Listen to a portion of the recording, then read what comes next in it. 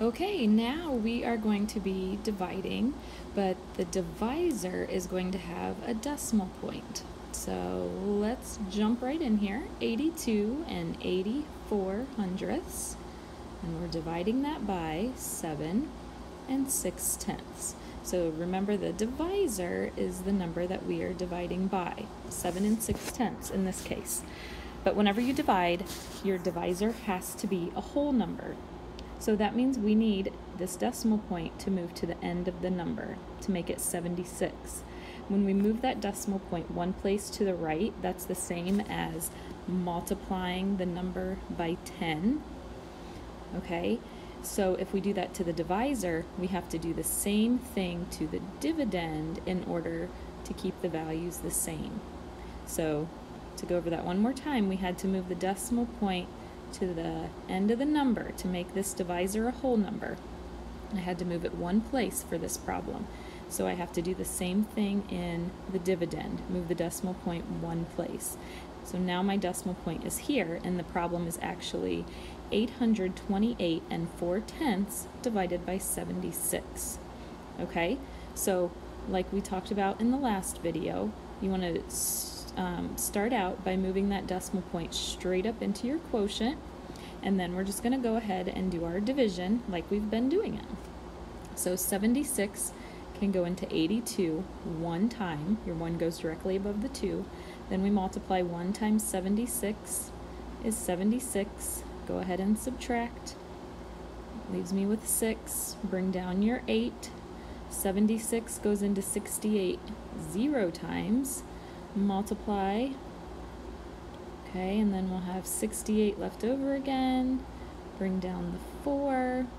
76 goes into 684. Oh boy, I'm gonna, it's gonna be a lot. I'm gonna start with 9. Let's multiply by 9 and see where that puts us. Um, that would be 4. 63 plus 5 is 68. So that actually worked out perfectly. So 76 would go into 684 nine times. And we multiply, it's exactly 684, so we don't have anything left over now. So the quotient for this one is 10 and 9 tenths. Okay, we're going to do actually three examples where we have a decimal point in the divisor. So go along with me here.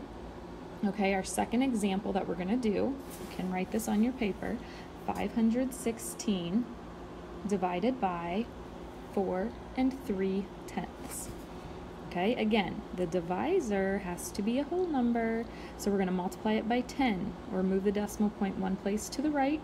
If I do it in my divisor, I have to do the same thing in the dividend. So my decimal point is currently here, move it one place to the right, my new spot for the decimal point would be right there. We need to fill in our zero, move the decimal point straight up into your quotient, and now we're doing a 5,160 divided by 43. Okay, 43 can go into 51 one time. We will subtract, and that leaves us with 86. 43 goes into 86 two times. Okay, and that would be exactly, oh, I'm sorry, uh, that is exactly 86. Okay, go ahead and subtract. There's nothing left over, but we have this zero here now, so we have to bring that down. 43 goes into zero, zero times, multiply, and then we are finished. Okay, so our quotient this time is 120. All right, go on to the third example. You're going to write this one on your paper. 261 and 3 tenths divided by 67 hundredths. All right, let's switch colors here. Let's go to red now. So for this one, looking at that divisor, it always needs to be a whole number.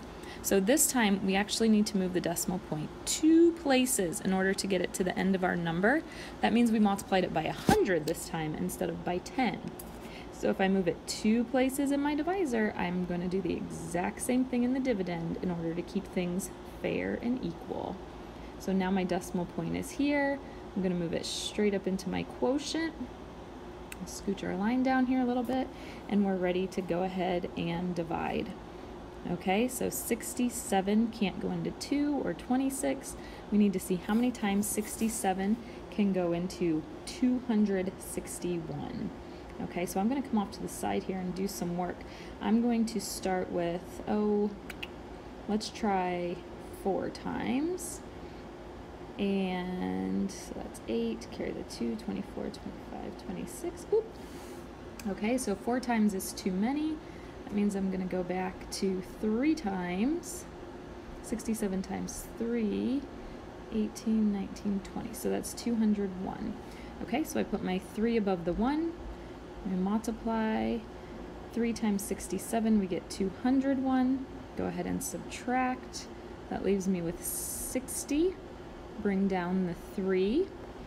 Okay, I know that it has to go in more than 4 times, so I'm going to try 67 times, hmm, oh, let's go with 9. It's going to be 3 and 6, so that's 54 and 6. Awesome. Okay, so 67 goes into 603 nine times. When we multiply, we get exactly 603. So we subtract and have nothing but bring down that zero. 67 goes into zero zero times. Multiply. We have nothing left over, so now we're finished. And our quotient is 390. Alrighty guys, so go ahead and work on those next three problems on your paper.